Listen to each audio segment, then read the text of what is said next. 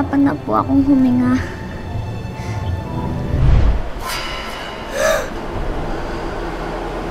Buti na lang, panaginip lang. Ayoko pa mamatay. Ouch! Ang sakit pa din ng sugat ko nung nabangga ako sa kotse.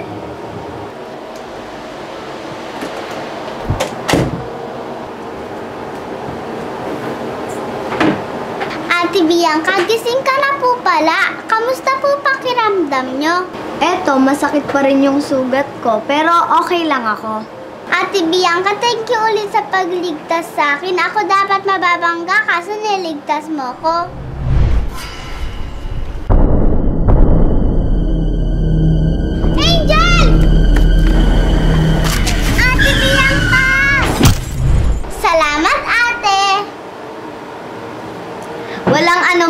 Angel. Basta masaya ako ngayon dahil napatawad niyo na ako ni Mami sa lahat ng nagawa kong kasalanan. Kalimutan mo na yun, ate. Napatawad ka na namin ni nanay. Ang bait mo talaga, Angel. Alam mo ba, kanina, bago ka pumasok, na naginip ako.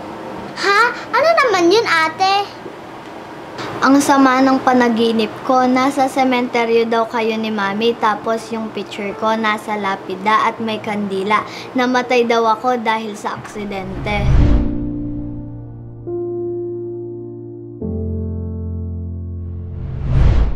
Natatakot ako, Angel. Ate Bianca, huwag kang matakot kasi panaginip lang yun. Di yung magiging totoo. ano ba yung ginagawa mo, Angel? Kinikiliti kita! Bakit mo ba ako kinikiliti? Para hindi mo na maalala yung masamang panaginip mo. ah, ganun ah? Ate Bianca!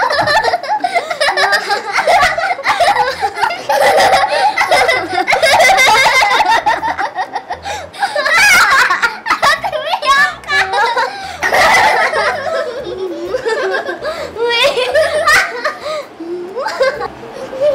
Nanay! Mami, nandyan po pala kayo. Huwag niyo nga kausapin, nagtatampo ako sa inyo. Ha? Bakit naman po, Mami? May nagawa po ba kaming mali? Oo, meron. Ha? Ano po yun, nanay? Nagtatampo ako kasi hindi niyo ako sinasali sa Hindi niyo ako sinasali ha? Hindi niyo ako sinasali?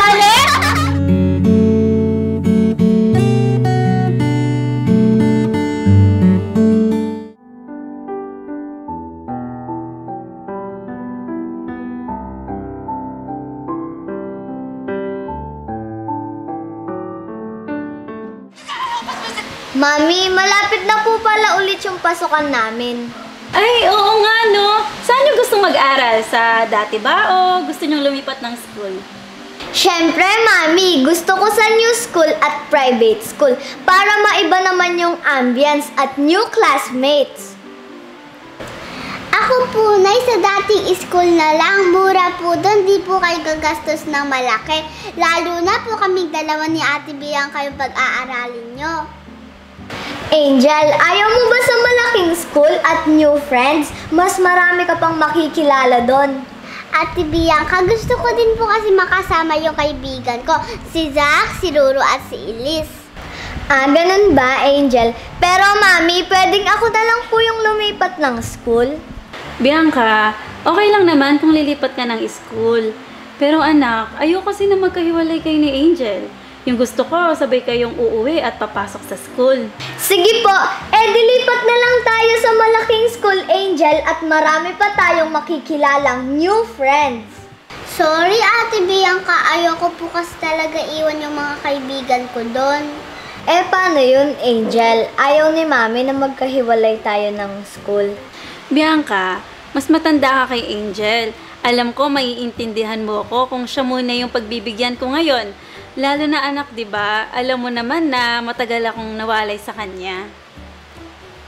Ibig sabihin niyo po ba, Mami, hindi na ako lilipat ng school at doon na lang po kami sa dating school kasama si Angel? Oo, tama ka, Bianca. Naiintindihan mo naman ako, 'di ba? Hayaan na muna natin si Angel kung saan siya magiging masaya at magiging komportable. Okay po, Mami. Naiintindihan ko po. Thank you, Ate Bianca. Thank you, Nanay. Excited na po ako makita sila, Zach.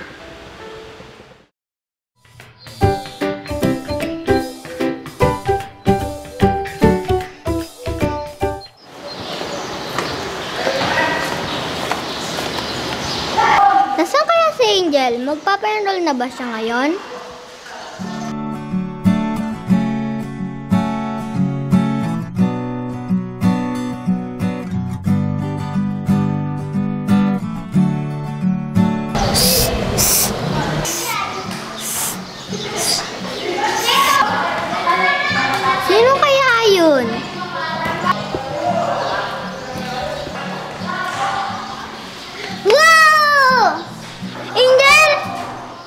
Angel.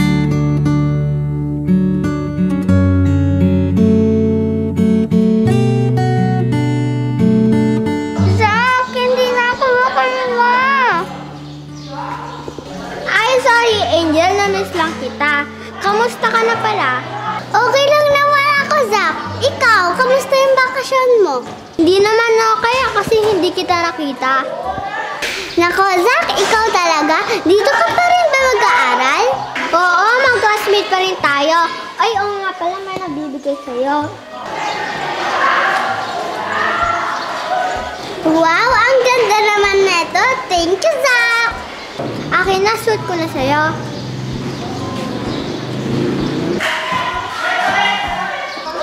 Wow, ang ganda. Bagay na bagay sa'yo. Huwag mo yan, ah. Oo, Zach. Thank you dito, ah. Angel, pwede bang ikaw na lang best friend ko? Ha? Sure ka? Ako na lang best friend mo? Bakit? Ayaw mo? Ha? Siyempre, gusto ko. Masaya ako kasi may best friend na ako. Thank you, Angel. Simula ngayon, mag-best friend na tayo, ah. Oo, promise. Ang bilis ng panahon, no? Ha? Bakit naman? Kasi dati tinitignan lang kita. Ngayon, best friend na kita.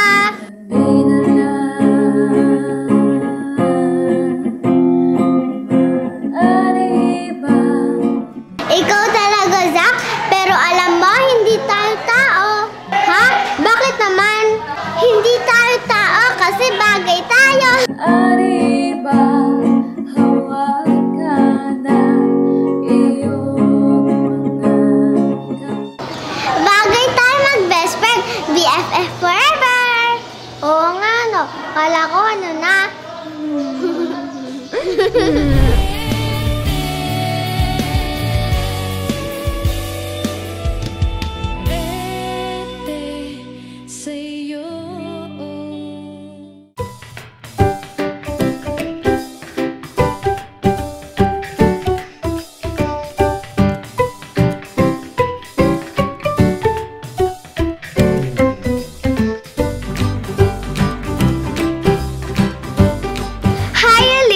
Long time no see ha. How's your vacation?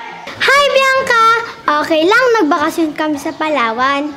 Ikaw, magaling ka na ba? Anong ginawa mo nung bakasyon? Wow! Pangarap ko din makapunta doon. Hmm, ginawa ko sa vacation, nagpagaling lang naman sa bahay. Naaksidente ka nga pala, no? Dapat si Angel mababangga sa kotse. Kaso, linigtas mo siya. Grabe at talagang nagbago ka na. Sobrang bait mo na ngayon, dati napakamaldita mo. Huwag mo na nga ipaalala yung dati, lahat naka-move on na, ikaw na lang hindi. Oh, charot lang! Nga pala, magpapa-enroll ka ba dito?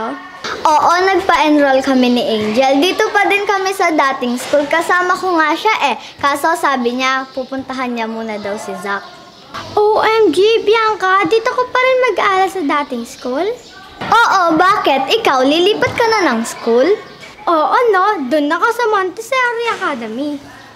Wow!